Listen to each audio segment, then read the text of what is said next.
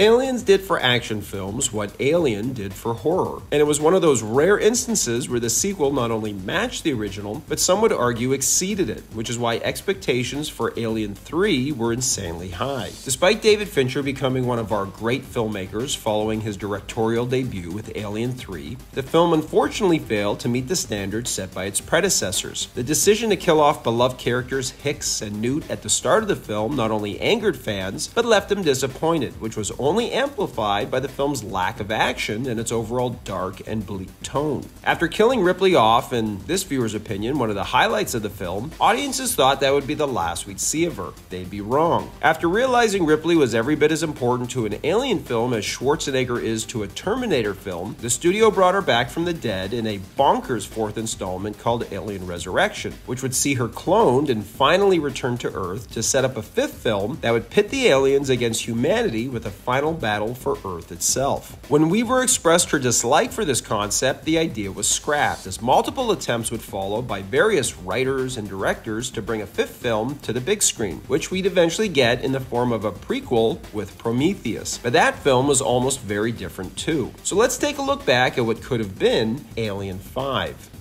After being disappointed by the last two Alien films, Weaver expressed interest in returning for a fifth film only if Ridley Scott or James Cameron were involved. Luckily for her, both men expressed interest in returning, and it wasn't long before Cameron began writing a script with an unknown writer for Ridley Scott to direct. Looking to do something similar in tone to Aliens, Cameron also explored including Arnold Schwarzenegger in the film to pair with Ripley. Before he could finish the script, though, he learned the studio wanted to fast track a different, already complete script for a crossover film that would pit the aliens against the predators. Cameron, feeling this was a tacky gimmick no different than Frankenstein meets the Wolfman, ceased work on his concept altogether, stating that Alien vs. Predator would kill the validity of the franchise. Ironically, after seeing the movie, Cameron changed his tune and ended up really liking it, calling it the third best Alien film in the franchise. Now, I understand the Alien vs. Predator concept was finished and ready to go, and Fox needed a blockbuster for their summer schedule but we're talking about a Ridley Scott directed Alien film with James Cameron writing and producing that would have starred Ripley and potentially Arnold Schwarzenegger. You don't go ahead with another script, you wait for James Cameron to finish his. I honestly may never get over this. Following the poor reception to the second Alien vs. Predators film, Neill Blomkamp, hot off the success of District 9, pitched an idea for Alien 5 called Alien Awakening. As the title suggests, this film would have ignored the events of Alien 3 and Alien Resurrection and been a direct sequel to Aliens, opening with Ripley, Hicks, and Newt coming out of stasis.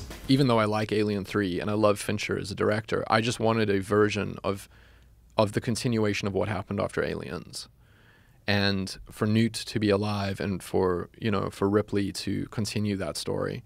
Um, and it was sort of based on that idea.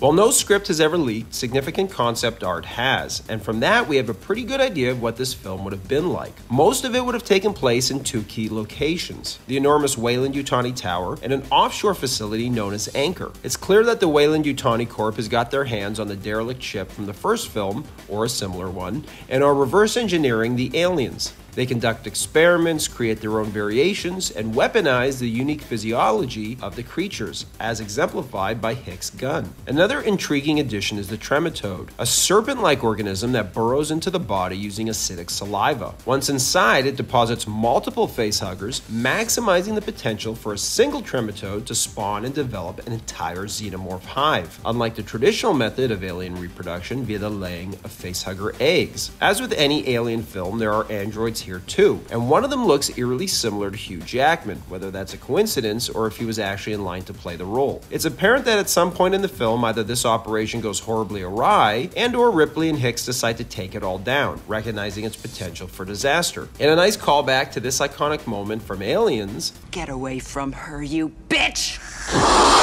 Ripley dons an alien exoskeleton suit, which I assume was designed and developed by the Weyland-Yutani Corp as she goes one on one with the Queen. As someone who is deeply disappointed by both Alien 3 and Alien Resurrection, this film seems like it would have been closer in tone to the original two films, while being a logical continuation of the story. As Blomkamp was developing this film, Ridley Scott was developing his own prequel film, which would get to cinemas well before Blomkamp's. Ridley was drawn to the idea of going back to where the alien creatures were first found and explaining how they were created. The first draft of the script he had written was called Alien Engineers, and although it was similar to what we'd end up with in Prometheus, this early version was a direct prequel to Alien, taking place on the same moon and setting up the events that occur in the original movie. The xenomorphs are here too, and David discovers that they're not naturally occurring life forms, but rather biologically engineered weapons of war, created and modified by the engineers. David goes on to imply that there are other variations of xenomorphs designed for specific purposes. He also learns that the engineer ship was headed to Earth with plans to wipe out humanity using the xenomorphs. However, the creatures got loose and wiped out most of the engineers before they could carry out their mission, which David tries to complete. This is the inherent challenge with prequels. They risk unraveling the mysterious allure of a cinematic universe. A significant aspect of the Alien film's mystique has always been the unsettling notion that our vast galaxy harbors countless unknown dangers. However, to then go and reveal that the xenomorphs are mere products of bioengineering shatters that very mystique, stripping away the unknown and diminishing the impact they once had. This version of the script would have ended with the engineer ship transmitting a distress call into space, which the crew in the first Alien film eventually respond to. Before going into production on this, Ridley shared the script with writer Damon Lindelof to get his feedback. While Lindelof liked the story, he disliked that it was a direct prequel, as he'd go on to say, if the ending to Prometheus is just going to be the room that John Hurt walks into that's full of eggs and alien, there's nothing interesting in that because we know where it's going to end. It really happened when we were in the very home stretch. Like, we think we're ready to go.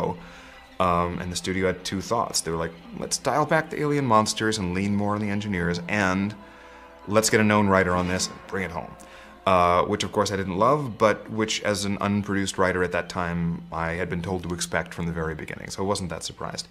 Um, and they talked to a number of writers, and Damon was the guy who got it, in their view, and really seemed to love the story for what it was, to understand its soul, and to be happy to carry forward uh, in the spirit of what had been done so far. Lindelof would proceed to rewrite the script into what we know as Prometheus. However, I think Ridley would have been better served making a standalone sci fi film that explored the origins of humanity and the meaning of life.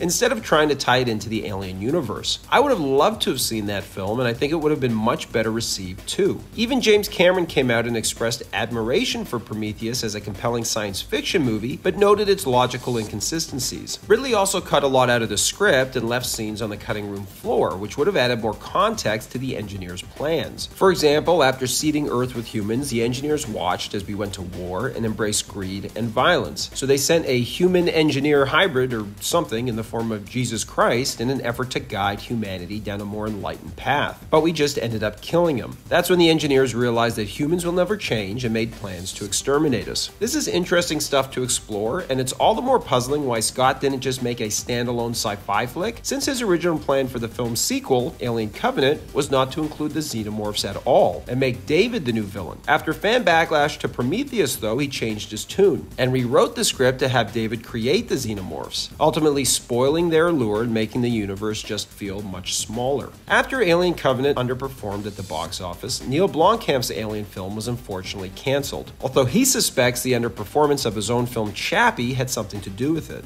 I do think that the way that Chappie was received probably played a role in me not working on Alien. Over the years, the Alien franchise has witnessed its fair share of missed opportunities. The the thing that I, I would have really enjoyed about it was Sigourney Weaver was really down for what I'd written. The future of the Alien franchise still holds some promise, as evidenced by the upcoming film Alien Romulus, helmed by Fede Alvarez, director of Evil Dead 2013, with Ridley Scott on board as a producer. Hopefully, it's able to rekindle the gripping thrills and iconic horror that made the first two films celebrated parts of science fiction cinema. Thanks for watching, everybody, and don't forget to like and subscribe.